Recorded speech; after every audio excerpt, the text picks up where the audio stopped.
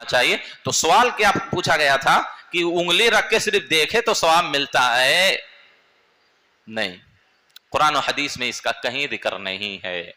अलबत्ता, अगर आपको कुरान पढ़ना नहीं आता, आप कुरान पढ़ना सीखें और उसके साथ साथ इस बात की कोशिश करें कि जिनको कुरान पढ़ना आता उनके बगल में बैठें।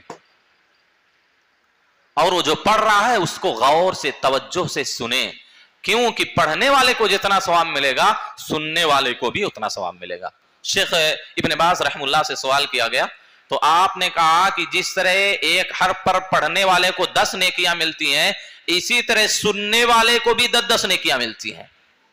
अगर कोई ये तरावी जो पढ़ी जाती है, गौर से, तवज्जो के साथ, तकबीर से लेकर सलाम तक, गौर से पूरे आठ रकात या ग्यारह रकात खड़ा रहे तो एक एक हर पर अगर दस नेकियाँ मिलती हैं तो कितनी लाख नेकियाँ एक घंटे के अंदर आदमी कमा लेता?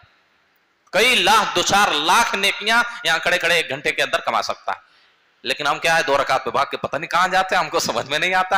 ये लोग कहाँ जाते हैं आखिर? इमाम साहब पढ़ा रहे हैं, उनको इतनी थकान नहीं हो रही है। ये दो रकात में, आधी रकात में शामिल होते हैं, फिर भाग के चले जाते हैं कहाँ की? है? कितने सवाब से हम महरूम हो जा रहे हैं, मालूम नहीं। वही दो मिनट के अंदर आप चार से पाँच हज़ार नहीं, बल्कि पचास हज़ार नेकियाँ वो दो मिनट में जाय हो जा रही है आपकी। एक हर पर दस नेकियाँ। आप सोचिए, अगर चार सफ़ा पढ़ा जाता है, तीन सफ़ा एक सूर्य एक रकात में पढ़ा जाता है, दोनों रकात में चार, पाँच सफ़ा, छह सफ़ा अगर हो गया, चार सफ़ा हो गया तो कितनी हज़ार नेकियाँ होंगी बताइए? कितनी हज़ार नेकियाँ हम ऐसे बगैर वजह के, क्या है, महरूम हो जाते हैं। बगैर किसी वजह के, कई हज़ार नेकियों से अपने आप को महरूम कर लेते समझ रहे हैं? तो मैं क्या कह रहा था? कुरान पढ़ना नहीं आता, सीखें। सीखने की कोई उम्र नहीं है। सहाबा, सलफ सालहीन, और आज के दौर में बेशुमार लोगों ने कुरान आखिरी उम्र में, बुढ़ापे की उम्र में पढ़ना सीखा। और बुढ़ापे की उम्र में कितने लोग खुद से घर में बैठे बैठे ऐसे हाफिज बन गए हैं, याद करते हुए। किसी मदरसे में नहीं, ऐसे ही घर गाँव में बैठे बैठे याद कर लिए पूरी पूरी कुरान।